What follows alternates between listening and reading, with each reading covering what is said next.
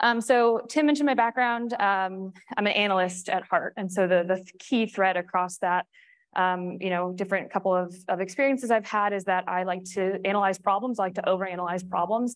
And I like to question what keeps us up at night. And so the keynote yesterday, Mark discussed something that keeps him up at night, and that is the potential for an OT cyber incident to happen in his information network and for him to not know it, right? For him to have um, some, some zero day component, you know, active in his network that he can't identify. Um, I am gonna spend this whole talk not giving a vendor pitch, even though we do have a great technology solution that was mentioned, but I'm going to have you question what it is that keeps you up at night. And so like many people in the OT ICS cybersecurity community, we like to have four jobs that we don't get paid for. So this report is something that I published with the um, Atlantic Council on April 19th. You can go and download it. It's a free PDF. I think it's like 10 or 15 pages. And it really does discuss a lot of the issues with how difficult it is to assess um, purpose-built systems and how cybersecurity and cyber incidents introduce randomness into deterministic systems. And we're talking deterministic from a physics perspective, of course. Um, I'm not a mathematician. I'm not a data scientist. Again, I'm just a, a problem analyst. And so I will spend some time uh, telling some stories. And I joked on Twitter that I would include this principle in my talk. And so when I did get started in nuclear weapons analysis, um, we were looking at cybersecurity vulnerabilities to nuclear weapons command and control, NC3. And when we started to do scenario analysis, it got like really Hollywood really fast, right? Because we've all seen war games, we've all seen the kind of uh, you know, next level cascading impacts, everything goes wrong all at once. And um, people really enjoy those scenarios, right? So again, I wanna have you question what keeps you up at night. And so um, a nuclear example is a number of years ago, somebody wrote a New York Times article and they were arguing that, and this person has, since passed away, he was a scholar in the nuclear field, and he argued that a terrorist could hack into nuclear weapons command and control and launch a nuclear weapon. Horrific, right? Like a horrible incident if you wanted to dream that up. Likely, not really, right? Based on what we know about how nuclear weapons are air gapped, how we spend a lot of money and due diligence on the supply chain, not the like, it's the most sexy, but like least plausible scenario. A much more plausible scenario is to look at the Minuteman silos uh, in a state like Wyoming. And even though they don't tell you what they spend the modernization on, Congress tells you how much money they're spending on modernization for the nuclear fleet. And then if you do some really weird research like me on the procurement website uh, that the government puts out, you could actually go back and map who might have gotten the predictive maintenance contracts for the Minuteman silos across uh, the Western United States. Again, a distributed denial of service attack on a Minuteman silo, not a super sexy terrorist launching a nuclear weapon type of incident, but a little bit more plausible. So when we think about planning for scenarios, I want all of you to question what keeps you up at night and question the scenario planning. So I grew up in theater. I have four older brothers, so I needed more attention. And there's this thing in writing, um, if you're a writer, called Chekhov's gun. It says, if you say in the first chapter that there's a rifle hanging on the wall, in the second or third chapter, it absolutely must go off. If it's not going to be fired, it shouldn't be hanging there. And so you've heard a couple of talks this week or these last two days that have said, tell me how. How is that going to map to my environment? What is the context? How is that gun going to go off in my system? If somebody tells you that, that there's a risk or a threat on slide one, tell me how it's going to impact me and my process by slide three or get out. Like start to question those scenarios that you do. I've got a couple other stories and then I'll get into this methodology that I promised you all. So I moved from nuclear, I go to Stanford, and they want me to look at accumulation risk for cyber insurance. And again, they have these Hollywood scenarios. The whole electric grid's gonna go down as if there's just one. And I did some analysis and they asked me to use my nuclear background to look at the financial impacts of fallout analysis if we knew that a nuke would take out New York the Department of Labor has put out this research and you can go and look and say, okay, well, if the stock exchange goes down, here are the cascading impacts for finance. And cyber folks wanted us to plug and pull that data into accumulation risk for cyber scenarios. Good formulas, bad data, very bad data. I said, you know what? If it were me and I were this big bad threat actor and I wanted to take down anything, I would look at a Charles Schwab portfolio and I would find some common denominator across that portfolio that would lead to a catastrophic risk based on a single point of failure that would cause kind of like a 2008 scenario. We actually just saw this, it wasn't a cyber incident, but the Silicon Valley Bank example is that common denominator of risk that becomes a single point of failure. And so if it were me, for accumulation risk, I would look at those single point of failures across big financial portfolios and take down your portfolio for those compounding threats rather than sector specific or vertical specific. Very difficult to, to wrap your head around, but again, ignore the Hollywood scenarios and think about what really could happen and how that might happen A couple other ones. I did a tabletop for a city and the city leaders really wanted to talk about somebody hacking into the um, stoplights, turning all the stoplights green. At the same time, all the cars collide, ambulances can't get in, people are bleeding, there's a missing arm. Again, don't make fun of these people. These are horrible scenarios. I would never want to live in that reality, right? But we have some people that know logic and programming, and they actually came in and described to the folks, that's really not very likely given the logic and how you program these systems. And once they realized that, I said, hey, who, who owns your parking meters? they said, what? And I said, who owns the infrastructure for your parking meters? And they're like, oh, we, uh, we put that as a third party, right? We outsourced that. And I said, let's talk about a scenario in which I infiltrate your parking meters that ride on your city infrastructure to get into your Wi-Fi to do this, this, this, and this. And that became the scenario that we actually went forward with for their tabletop. Um, I was in a, I wrote a ransomware hospital simulation and I had somebody, thankfully not a doctor, ask me, why would it be important for a surgeon to have patient history if the surgeon knows how to perform the emergency surgery? And I said, maybe in combat or in a you know, really horrible situation, again, a realistic situation that could happen, that might be an important question. I said, but for a hospital that wants to maintain malpractice insurance, it's an important question, right? You have to have your, your medical background. Um, last one, airports, my absolute favorite. You do scenario planning with airports. A couple years ago, like everyone was obsessed with drones. Like there was a transponder on a drone, a drone was gonna bring down a fleet. There's a lot of ways you could ground airplanes, but the drones were like the favorite one. Same thing, I came into the airport, I said, who owns your uh, scanning technology? They said, what? And I said, we don't have a chief marketing officer. There's, this is not a billboard. There's a logo on that scanning technology that you go through for x-rays because they own that infrastructure. It's a third party risk. Let's talk about that. Let's not talk about the drones. Other one for airports before I move on, DFW, where I live. I love Texas, come visit, love to meet you. Um, there is something called the Corporate Aviation Building at DFW, which is basically its own town, has its own zip code. And the corporate aviation building is where like Kim Kardashian flies in. And it's also where I take a puddle jumper, 10 seat plane to go to Harris, Arkansas, which happens to be an hour from my parents. So that's how I get home.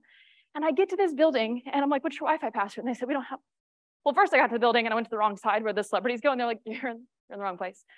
Um, so I went to my side of the building for the puddle jumper for my $80 ticket. And then I said, what's your Wi-Fi password? And they said, we don't, we don't have one. Um, and I was at a SCADA Tech Summit and I started talking to some of the leaders from DFW Airport. And I told them that and they were like, what? I was like, great. So when you do these scenarios, there are things that we call low hanging fruit and they're not obvious, but they're also not Hollywood. So again, Chekhov's principle now, every time you think of an ICS scenario, every time you're speaking to a CISO, every time you hear from an expert, threats are real, threat actors are real. Purpose-built systems can be manipulated, we know that. But question the narrative for what keeps you up at night when there's fear, uncertainty, and doubt involved. Okay, so I did promise that I did some research. Again, I wrote this paper, it was published on the 19th of April. And um, there's a great talk yesterday about standards and how it's so difficult. There's so many regulations and standards, and there was a lot of consensus built around the themes that came out of that. I'm an analyst. Jason did a great job. There's one theme I know he knows that he didn't pull out, and that theme was tabletop exercises. Mike, great guy, gave an awesome talk about tabletops yesterday. Tabletops are essentially experiments if you remember grade school science, experiments are testing hypotheses. And there's one rule about experiments. Does anyone know what the rule was? Repeatable. Experiments are supposed to be repeatable. So every single piece of legislation that's come out in the last couple of years has recommended a tabletop, and they say, do it however you want to do it, just do it. There's no standardization about how we choose the scenarios, how we exercise tabletops. Now there's different ways to do it. There's tabletops and services, right? There's different principles that go into that, but across the board, there's no standardization. So that's what got me thinking about this little consensus problem. And so this has been, there's a dichotomy of this problem that in the government, it's assets versus functions. In tabletop exercises, it's focusing on a threat actor or focusing on targets as technology themselves. That's the same thing as the assets versus functions conversation. It's also split up as threats to versus threats from systems, right? Threat actors versus the actual vulnerabilities in the systems. Um, and there's a couple other ways that we break it down, but it really becomes siloed really quickly. And it's doing a disservice to how we think about working through these exercises and understanding what we're trying to learn and how we standardize those takeaways when we think about tabletops. So these are some of those high level issues that create little consensus when we start to use those dichotomies for understanding. Number one, plethora of existing product vulnerabilities and critical OT The OEMs are doing better, they're doing their best, right? They do batch sampling. Um, they let us know when those vulnerabilities are discovered. They tell us how critical they are for that component, for that technology. And then it's our jobs to go and say, well, how I use this component, the way that it's configured, that's actually how vulnerable it is in my context. Very difficult to map, but very useful, right? But you could also spend $500,000, a million dollars focusing on a bunch of vulnerabilities that don't actually statistically reduce your risk in your environment based on that context. That's not a great day, not a great scenario. Um, again, severity scoring, it's just too vague. It doesn't help you understand that context. It doesn't help you map or have any kind of purposeful security paradigms for how you use your budgets. Um, there's a loss of function outcomes and consequences, back to Chekhov's principle. There are these big scary vulnerabilities. These are really bad threat actors out there, and they don't help you say, in order to prevent this worst case scenario, you actually need to use an effects-based approach rather than a means-based approach. So you can't get too caught up in all the capabilities if you don't actually understand the effects. And that's what I mean about the function of the outcomes and consequences.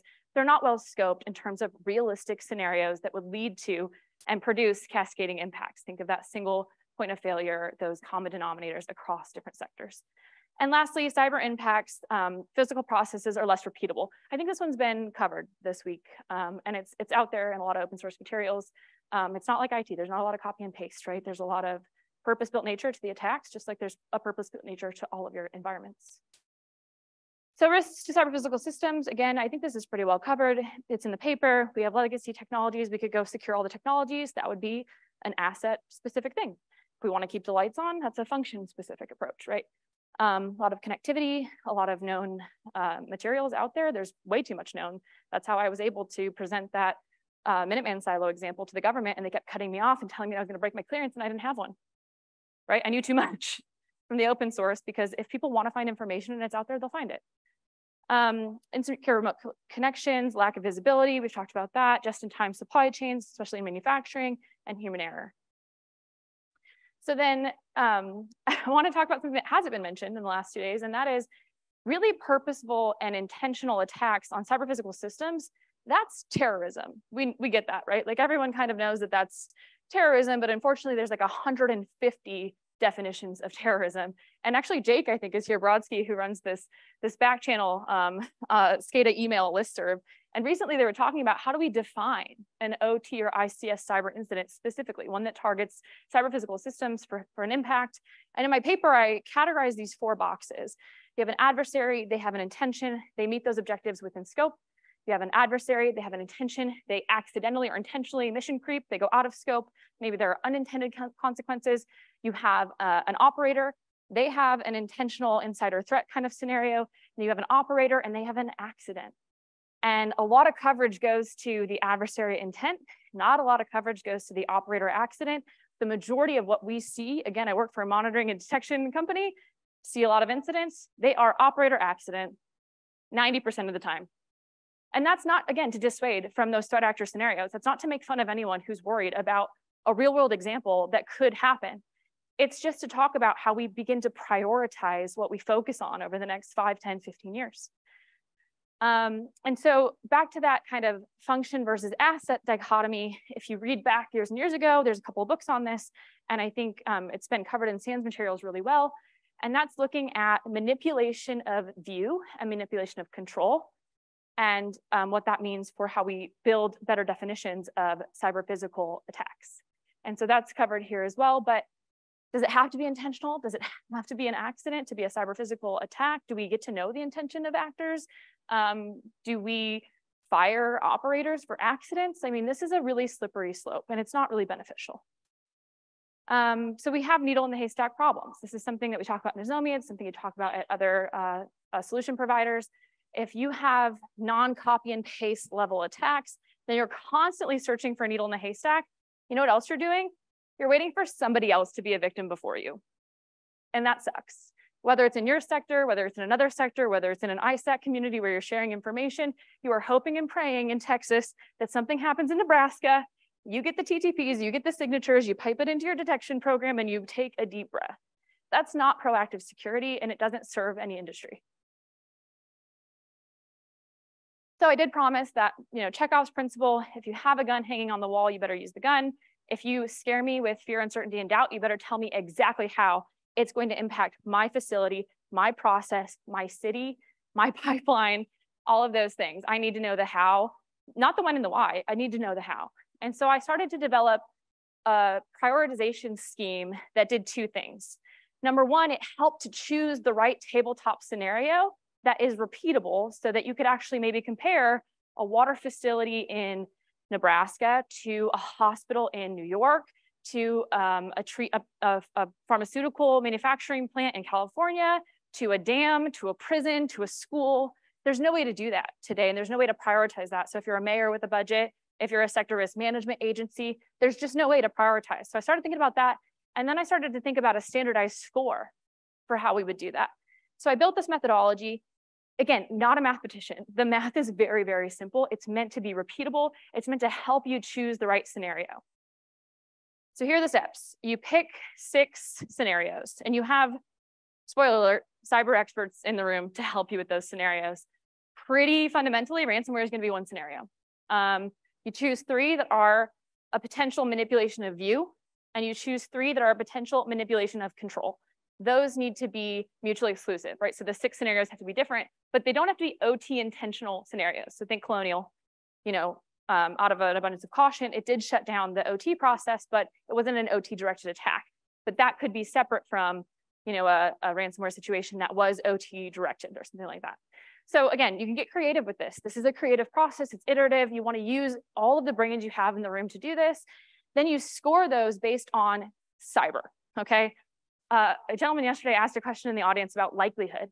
And he said, you know what, we kind of abandoned likelihood calculations because they're subjective. Another spoiler alert, all risk register activities in cybersecurity are subjective. They are quantitative and qualitative, and it's a marriage and it's imperfect. But if you can repeat imperfection, you can actually start to do comparative analysis.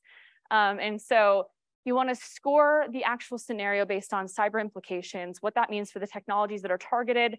And we're really good at doing that, actually. And that's where likelihood data comes from. The problem is over the last five, 10 years, that likelihood calculation has moved away from the likelihood that a threat actor will be successful with known TTPs in your environment to the likelihood of being the next target that's not the same thing, right? Nobody can produce the likelihood of you being the next target or the likelihood of you being targeted. They can tell you what's out there from a risk perspective and the things you can do to be statistically less of a low hanging fruit kind of target based on opportunistic tactics. But again, not the same as telling you how likely it is that you will be targeted. So we've manipulated that understanding. And it's again, it's not serving the industry. So then that's just cyber scoring, right? That's understanding again the impacts, the technologies that I own and operate, still not a great way to do scenario planning because you're too focused on the technology and you're not focused on the implications of the location, the people, your personnel, the environment, all those other things that are the mission set, that why we're here. So I decided to weight and rank that based on um, some statistical data from terrorism. Again, 150 different definitions, tons of work that goes into terrorism anal uh, analysis. Um, the big one that people always used to talk about was Cyber 9-11. It's a horrible analogy because it is a skewed data point. So people focus on the number of fatalities. Horrible day, I'm a New Yorker, like again, should not be belittled as a scenario. It was a horrible day. But for Cyber 9/11 examples and analogies, everyone forgets the box cutter. Nobody does the analogy of the box cutter. They always focus on the casualties. And if you were to do terrorism analysis, you would actually have to pull that out of your data set because it skews it so dramatically that it's not useful. So how do we think about that for OT risks? So I decided to start weighing and rank these scenarios based on their ability to cause public panic and their ability to overwhelm local resources. A hospital in a rural area is actually gonna have a way worse day with ransomware than Atlanta did, even though it was a bad day. People didn't really panic. I mean, systems were offline and it was a long time to get them back up and running, but they had a lot of local support. It doesn't look the same. Um, and then finally, there's a standardized priority score, like I mentioned. So we put this to the test and we did have all cybersecurity experts in the room, but we only had an hour and a half to go through the methodology. And um, if there are any Mr. Robot fans in the room, there's an episode of Mr. Robot that looks at prison cybersecurity, and they look at the PLCs that operate the doors that open and close for the prison. Um, there are typically like X amount of doors per PLC operating those facilities. Um, and there's a DEF CON talk you can look up on YouTube called like the Nightmare of Christmas Eve or something. And Mr. Robot actually took that DEF CON talk for their episode in this. And basically they do both manipulation of view and manipulation of control. And so if you go and watch this YouTube video, they manipulate the PLCs to where the operator thinks there's a, a light that blinks and that the operator thinks I have control over the system and the doors are closed. And in the background, not only are the doors open, but they're also still producing for the operator the blinking lights to tell the operator that the doors are closed. Nightmare scenario, right? Um, prisons are near and dear to my heart because my dad was a prison counselor in upstate New York. So when we did this tabletop exercise, we did a mock prison example and I actually used all the characteristics of the prison where I grew up visiting my dad at work in upstate New York, a supermax prison facility, not considered critical infrastructure, a couple of miles from an elementary school, quite a few miles from a hospital. These are the kinds of considerations for cascading impacts and fallout analysis that you don't typically see across tabletop exercises when you choose a scenario. So when we were looking at these scenarios, we were saying, well, there's the Mr. Robot scenario. And we actually had one of the women from that research and from that DEF CON talk come in and talk to us about all the access vectors. There were like USBs on cars that patrolled outside that um, neighbors were hacking into, and they were actually piping the feeds from the cameras on the prison property to YouTube. Um, there's commissary, there's tons of third parties, there's food. These are small cities, right? And they're, they have to outsource everything, uh, medical, transport, all of these different access vectors. And so immediately everyone thought worst case scenario is somebody takes over the controls for the doors and they let all the prisoners out, like happened on Mr. Robot. And when we worked through this methodology, um, we scored based on the colorful uh, graph over here, and we gave that a 50, right? That's a bad day. It's a high score uh, in terms of technology. And the severity indicators that we use to score the table on the right are the questions you cannot read from your seats on the left. Um, but that's basically how we determine these scores. It's not how we determine the scenarios. You start with the scenarios and then you wind and, and, and whittle down from those scenarios based on the severity. But then you don't stop with severity. You wanna consider the fallout. So we took those scenarios based on their cyber severity and we weighed them again by the potential to overwhelm local resource capacity and the potential to cause public panic a prison scenario in which all communications are shut off to the prison would cause much more panic than um, just somebody manipulating the doors because that would not essentially overwhelm local response capacity. It's something that people train for actually a lot more than communications being cut off. So we determined based on this methodology that the exercise that this prison really should prepare for is total communications blackout because it does impact way more parts of their business, parts of their risk metric, parts of their insurance, parts of their employment, parts of their scheduling, parts of their food delivery, all of these components for operations that they would not have considered had they run a tabletop exercise solely focusing on whether or not somebody could manipulate the view and control of the doors, even though the PLCs for that are you know, in a rack in the back and they're not in the central operating center. So this is how we developed this. Um, I can talk a little bit more about the math. These were the different scenarios we also looked at. Uh, camera systems access, scheduling and operational logistics, ransomware, of course, third-party takeover, communications in a distributed denial of service, and third-party access to just the doors themselves. Again, that's the Mr. Robot um, example. Uh, a little bit more on the math. So this is the weighting. So you could do this for either or. So you could weight and focus on just the scenarios that might produce public panic. You could focus on just the scenarios that would theoretically overwhelm local resource capability. And then you could focus on both. Again, very simple math, but very high level use cases to start to do prioritization. So why does this matter for um, critical infrastructure? If I am a mayor, again, or a sector risk management agency, I have limited bandwidth, limited resource capacity, and limited cybersecurity experts at my disposal.